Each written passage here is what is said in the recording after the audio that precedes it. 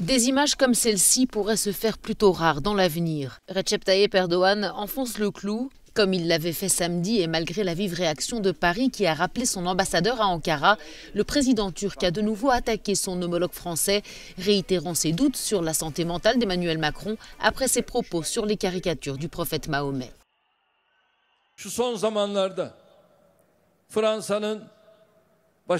Ces derniers jours, l'individu qui dirige la France a été surpris. Il est obsédé par Erdogan jour et nuit. Mais qu'il se regarde d'abord, qu'il voit vers quoi il se dirige. C'est un cas, et en conséquence, il a vraiment besoin de faire des examens de santé mentale.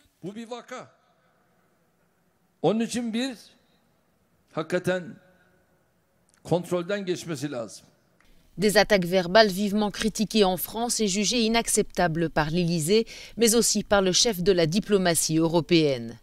Des attaques qui font suite à la cérémonie d'hommage à Samuel Paty, professeur décapité dans un attentat islamiste à Conflans-Sainte-Honorine près de Paris. Emmanuel Macron avait alors promis que la France continuerait de défendre les caricatures. Le gouvernement français a dit aussi vouloir renforcer l'arsenal juridique afin de mieux lutter contre le séparatisme islamiste.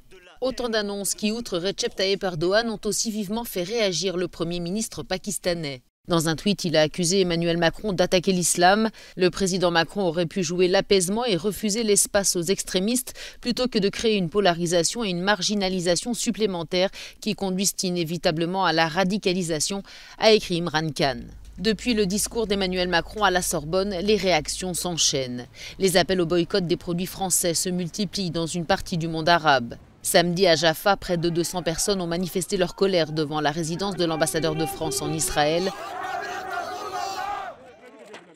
Enfin, dans la bande de Gaza ce dimanche, des manifestants ont brûlé des photos du président français.